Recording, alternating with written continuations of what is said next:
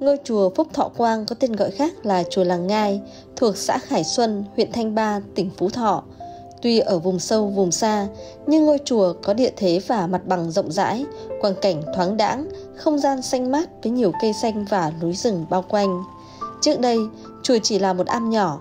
Năm 2019, chùa được trùng tu và dần trở thành điểm đến an lạc của đông đảo bà con Phật tử xa gần. Kiến trúc ờ, của ngôi chùa ở đây thì được xây dựng theo kiểu à, nội công ngoại quốc. Đằng trước cũng có hai đức hộ pháp, một bên là đức ờ, chúa ông và đức ờ, thánh hiền theo cái nối và đời Trần Lý của của miền Bắc. Đấy. Trên thì thờ Tây Phương Tam Thánh, Đức Phật Di Đà, Quan Âm Thế Chí. Với cái sự tâm thành của chính quyền địa phương cũng như bà con có xuống cảm thịnh thấy nên trên này xây dựng chùa giúp dân và đem giáo lý của Đức Phật à, lan truyền đến cho bà con nhân dân. Giữa không gian đầy thơ mộng và linh thiêng, có ngôi đại hùng bảo điện uy nghi với giảng đường rộng cả nghìn mét vuông. Nơi đây đã tổ chức nhiều khóa tu an lạc, giúp người con Phật hiểu thêm về giáo lý, để từ đó tinh tấn tu học, tìm đến chân lý giải thoát, giác ngộ.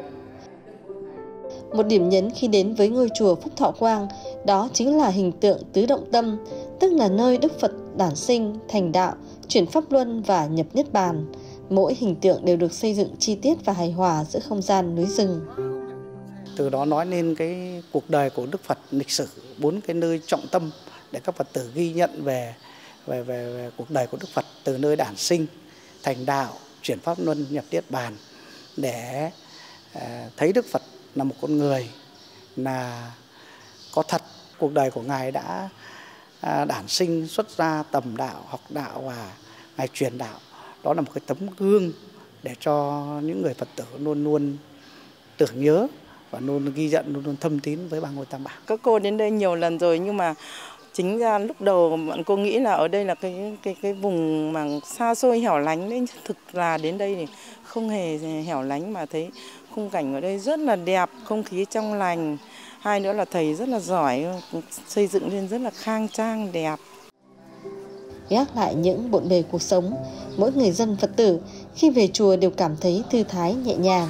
Về đây, tiếp cận những khóa tu hàm dưỡng nội tâm nhằm đem lại giá trị tinh thần, tâm linh sâu sắc để vững bước trên đường đời vạn nẻo.